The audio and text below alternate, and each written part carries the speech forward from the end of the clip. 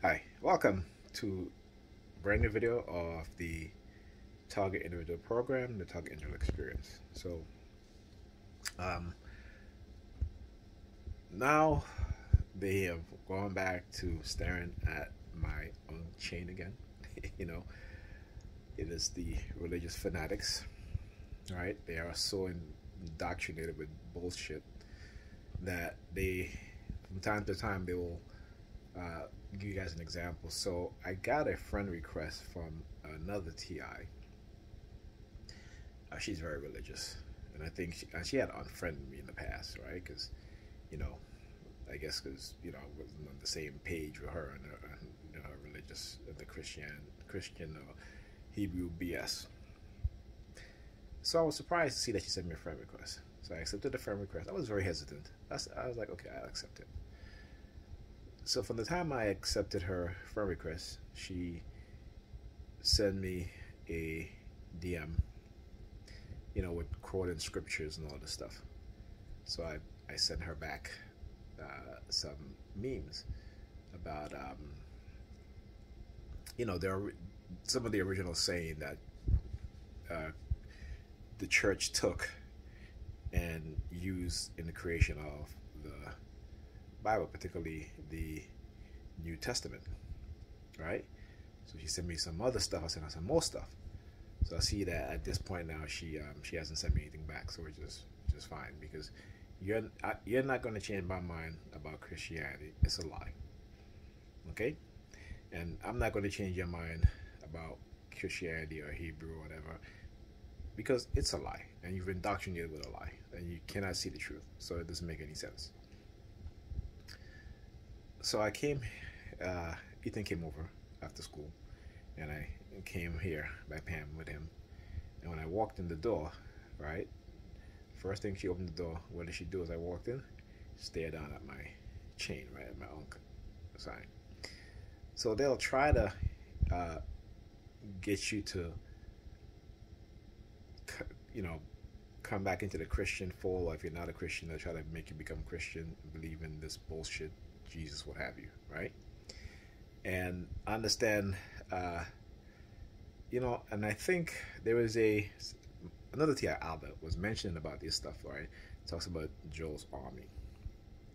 It talks about how the, you know, the, the religious fanatics within the military and the government, and how they do these what is called Hearts and Mind campaign, right? Now we know that the U.S. government do Hearts and Mind campaign on citizens of other countries that they've invaded or they want to make pro-U.S.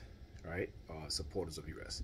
So they run covert operation, uh, movies, um, media, right? Anything that shows they can show America in a favorable light. You know, this is what they'll do. The internet, social media, stuff like what like how Russia did, and you know, basically uh, helped Donald Trump win the 2016 election, right? Um, so I'm going to do a show on this. I'm going to do a video on this, right, about how the religious fanatics, whether they're conservative or whether they're liberal, right, how they use religion as a tool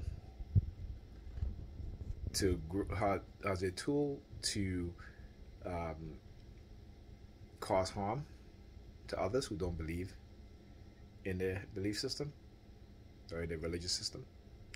And so I'm gonna do a show on this because it's a lot of things that, that they do to me, particularly as a TI, when it comes to how they try to um, religiously indoctrinate me again. No, like no, because I say once you know the truth, you cannot go back to living the lie. I don't care how much hardship they want to put me through. I don't care how many threats they want to threaten me with or by or whoever they can do it. I'm never ever going back to believing in that lie. Why? Because it has poisoned, it had poisoned my mind as well as every other Christian, uh, even Islam. Okay? Because they're both based on lies. It is for control. Christianity, it is for white Anglo Saxons to control other white Anglo Saxons as well as other groups of people. Islam is the same thing, but Islam, it is white Arabs, because they consider themselves white, they're classified as white. again I'm trying to do the same thing. Okay, and so once I realized and understood what African spiritual system was about, concepts and and um, and it has to deal with astrology, science, medicine. Okay, it's not a religion. Okay, it is nature. It is the belief and the study of nature. Okay, that's African spiritual concepts. We don't separate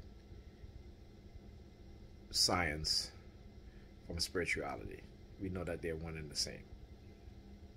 Right? They both belong to each other, or coincide with each other. So once I start to go through some of the documents that I have about how the church, how they turn people away from science, but then when all the praying and all the, you know, the brutality that they put on the European people, particularly during the Dark Ages, how they themselves turn to science, turn to the very literature that they had claimed to burn, but they didn't burn all of it now. They kept the, important books, right? They kept all the, the books about medicine, uh, about other science and stuff like that. They kept that, right? So when all that praying didn't work, guess what? They went to those books, and those books, a lot of those books was, was um, written in Arabic. Okay, and they use the information within those books to help cure some of the worst disease and plague plagues in Europe. All right, so um, you know, once I can get the information together and I have the time to do the video, stay tuned. It's going to be a good one. All right, so I'll talk to you guys in the next video.